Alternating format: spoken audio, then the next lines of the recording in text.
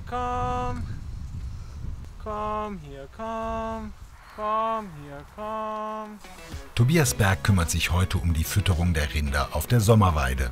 Für mich bedeutet die Arbeit auf dem Biohofgut Richirode immer sehr viel. Ich bin sehr tierlieb, bin immer sehr gerne in der Rindvieh-, Schwein- und Huhnhaltung. Das ist eigentlich mir relativ egal, wo ich eingesetzt werde.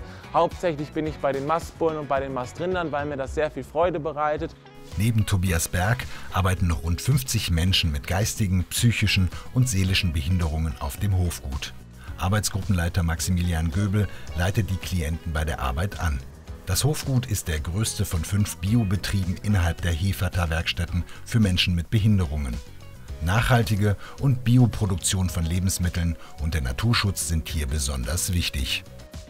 Das Besondere an der Arbeit mit den Klienten ist, dass jeder individuell ist, man sich äh, wirklich mit den Leuten beschäftigt, sich um die Leute kümmert und individuell schaut, wer kann was, wer kann was weniger wir ähm, an den Stärken arbeiten und jeder einen kleinen Teil zum Ganzen dazu trägt und gemeinsam die Sache eine runde Sache wird und mit allen Mann wir das wirklich hier sehr gut schaffen und bewältigen können, aber das halt als Team.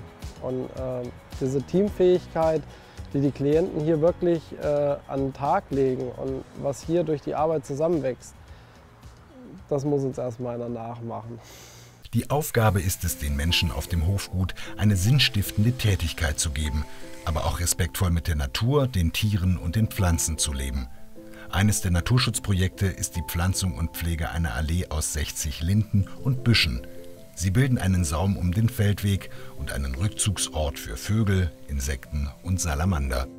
Der oberste Punkt ist natürlich, wir versuchen irgendwo die Schöpfung zu bewahren, ähm, sind im Einklang mit der Natur ähm, versuchen wirklich individuell zu wirtschaften, wie es uns die Natur hergibt.